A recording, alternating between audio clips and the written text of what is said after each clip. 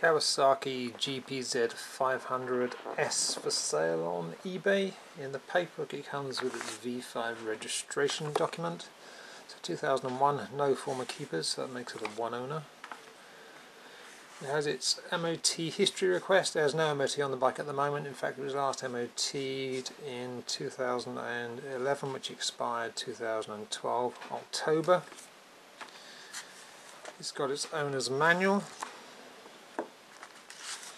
got its service history there, which is not complete. In fact, the book was last stamped in 2003, and the last time we got any documented work was done in 2010. In 2010, it had some um, top end of the engine work done. It had um, some valves and piston clips and that kind of stuff done at the top end. There's that.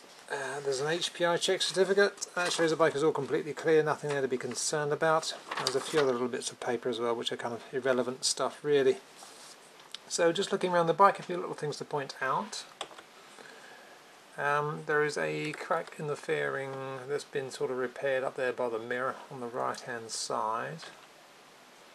There's a marker on the left hand side there that kind of looks like it's been touched up with some blue paint or something can't really see because not because it's sort of tucked underneath there. So there's that. There's a scuff on the right hand side of the exhaust there. Uh, the engine itself sounds like it needs a bit of adjustment. You can hear in the video there where I'm riding the bike that it um, it actually sounds a bit like the valve clearances want doing. The last owner was going to take it back and have it done after he'd had the um, the engine work done, but he stopped using the bike before he went back to having it done. So I would think you probably want the valve clearances done. If I'm wrong about that, well then you might want the timing chain done, but I wouldn't think there's anything more than that. He's been using it like that for some time. Um, so there's that.